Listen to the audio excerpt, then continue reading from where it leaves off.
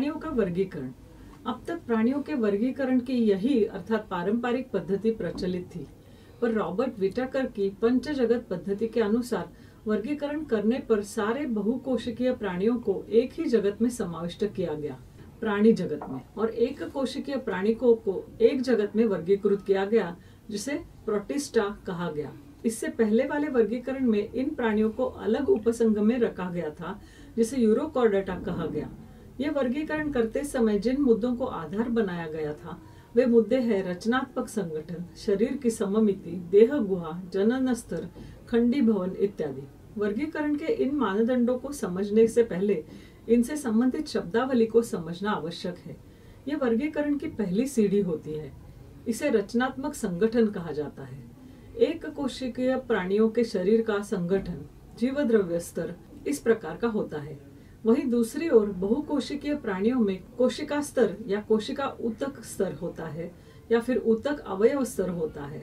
उतक अवयव स्तर में कुछ उतक एकत्रित आकार अवयव तैयार करते हैं, परंतु वे पूरी अवयव संस्था का विकास नहीं करते हैं।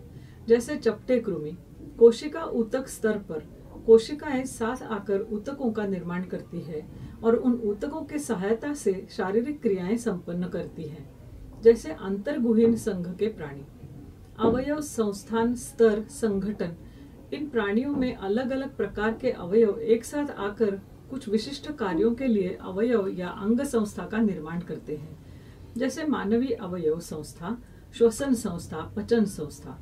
दूसरी सीढ़ी है शारीरिक सममिति के अनुसार वर्गीकरण। शारीरिक सममिति का अर्थ समझते हैं।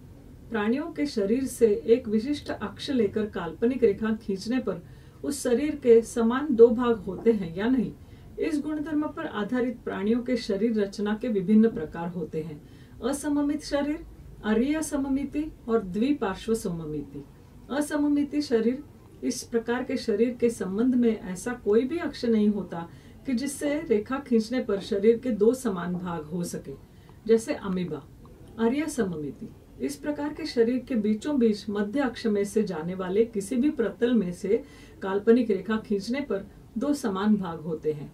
उदाहरण के लिए, सितारा मछली के शरीर के संबंध में मध्य अक्ष से जाने वाले पाँच भिन्न भिन्न प्रतल होते हैं, जिसके कारण पाँच भिन्न भिन्न पद्धतियों से रेखा खींचने पर भी दो समान भाग प्राप्त किए जा सकते हैं।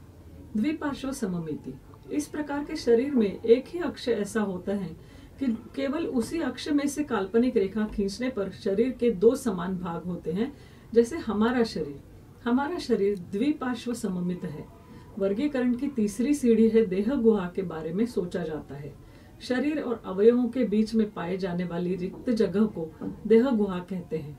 हमारे शरीर में देह गुहा में आंतरिक अवयवों का समावेश होता है, जैसे फेफड़े, हृदय, ग्रास नलिका, छोटी आंतड़ी, बड़ी आंतड़ी, पेट, गर्भाशय इत्यादि। इस प्रकार के प्राणियों को सत्य देह गुहा वाले प्राणी कहते हैं। छिद्रधारी संघ के प्राणी अंतर्गुइन संघ के प्राणी और चपटे कृमि संघ के प्राणी, इनके शरीर में देह गुहा नहीं होती है, इन्हें देह गुहाहीन प्राणी कहा जाता है। गोलकृमि संघ के प्राणियों में देह गुहा तो होती है, पर ऊपर बताए गए दोनों तरीकों से निर्मित नहीं होती। इसी कारण इन प्राणियों को नकली देह गुहा वाले प्राणी कहा जाता है। उदाहरण के लिए केंचुआ। फ़िलहाल हम देह गुहाहीन प्राणी और नकली देह गुहा वाले प्राणियों की गिनती इस वर्गीकरण में नहीं करते। बचे हुए देह गुहा वाले प्राणियों का वर्गीकरण उनके विशिष्ट शारीरिक रचना के आधार पर किया जाता है। जैसे सखंड कृमि, संधिपाद, मृदुकाय कवचधारी, कांटेदार त्वचा वाले, अर्धमेरुदंडीय और समपृष्ठ रज्जु प्राणी इत्यादि। इसके बाद की सीढ़ी है आद्य स्तर या जनन स्तर। बहुकोशिकीय प्राणियों में भ्रूण अवस्था के आरंभ में ही कोशिकाओं के आद्य स्तर का निर्माण शुरू हो जाता है और इसी आद्य स्तरों से ही प्राणियों के शरीर में विविध उतकों का निर्माण होता है। कुछ प्राणियों में केवल दो आद्य स्तर या जनन स्तर होते हैं, बहिर्जनन स्तर और अंतर्जनन स्तर, जैसे अंतर्गुहीन प्राणी। कुछ प्राणियों में तीन स्तर होते हैं, बहिर्जनन स्तर, मध्य स्तर और अंतर्जनन स्तर। मध्य स्तर से ही देह गुहा की निर्मित होती है। रंध्रीय प्राणी संघ।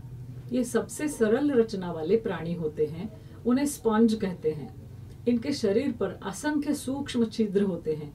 इन छिद्रों को ऑस्टिया और ऑस्क्यूला कहते हैं। ये प्राणी जलचर प्राणी होते हैं और अधिकतर प्राणी समुद्र में और कुछ मीठे पानी में पाए जाते हैं।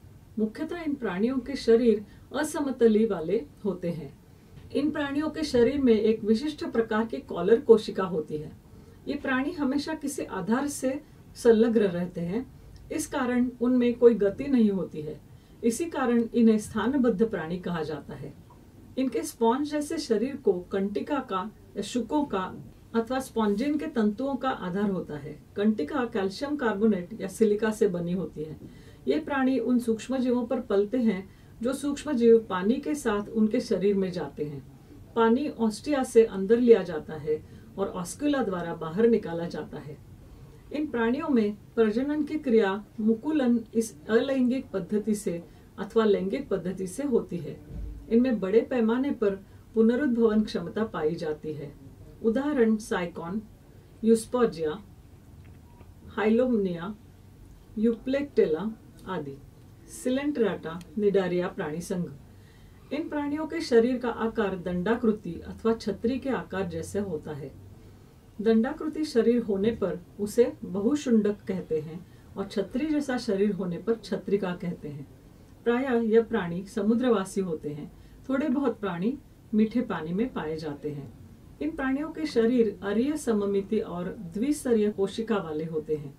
इनके मुख के आसपास दंश पेशियाँ होती है, जिनमें स्पर्शिकाएँ होती है। स्पर्शिकाओं का उपयोग भक्ष्य पकड़ने के लिए होता है और दंश पेशियाँ भक्षों के शरीर में विष का अंतक्षेपण करती है। इनका उपयोग स्वयं रक्षण के लिए भी होता है। उदाहरण, जलव्याल, corals, sea anemone Physalia, Aurelia, प्रवाल इत्यादि। चपटे कृमि प्राणियों का संघ। इनका शरीर दुबला, पतला और पत्तियों या पट्टी की तरह चपटा होता है। इसी कारण उन्हें चपटे कृमि प्राणी कहा जाता है। ये प्राणी अधिकतर अतः परपोषी या अतः परजीवी होते हैं, पर कुछ स्वतंत्र जीवन यापन करते हैं और पानी में पाए जाते हैं। इनके शरीर देह गुहाहीन होते हैं और उनमें द्विपार्श्व सममिति पाई जाती है। ये प्राणी त्रिजनन स्तरीय वाले होते हैं, अर्थात इनका शरीर बहिर्जनन मध्य जनन और अंत जनन स्तर ऐसे तीन जनन स्तरों से बना होता है। ये प्राणी उभयलिंगी होते हैं अर्थात नर, मादा, प्रजनन संस्थान, एक ही प्राणी एक शरीर में पाए जाते हैं। उदाहरण, प्लेनेरिया, लिवर फ्लूक फीताकृमि चुनौती स्वीकारें। मानव में टेपवर्म का संसर्ग और भेड़ बकरी इत्यादि घास खाने वाले जानवरों में लिवर फ्लू का संसर्ग किस प्रकार होता है? यह संसर्ग ना होने के लिए हमें किस प्रकार की सावधानी बरतनी चाहिए? गोल कृमि प्राणी संघ। इन प्राणियों के शरीर का आकार बारीक धागे जैसा या फिर बेलन के जैसा होता है, इसलिए इन्हें गोल कृमि कहा जाता है। ये प्राणी या तो स्वतंत्र जीवन यापन करते हैं या फिर अतः परपोषीय होते हैं। स्वतंत्र जीवन यापन करने वाले प्राणी जलचर या फिर भूचर हो सकते हैं। इन प्राणियों के शरीर त्रिजनन स्तरीय होते हैं और इनके शरीर में नकली देह गुहा होती है। ये प्राणी एकलिंगी होते हैं। उदाहरण एस्कॉरिस, पेट के परजीवी, फाइलेरिस, हाथी पाँव का परजीवी लोआ लोआ आँख का परजीवी। चुनौती स्वीकारें। पेट की कृमि, हाथी पाव रोग की कृमि, वनस्पतियों में संसर्ग उत्पन्न करने वाले कृमि का संसर्ग किस प्रकार होता है? यह संसर्ग न हो, इसलिए हमें क्या सावधानी बरतनी होगी? यदि संसर्ग हुआ तो हमें कौन से उपाय करने चाहिए?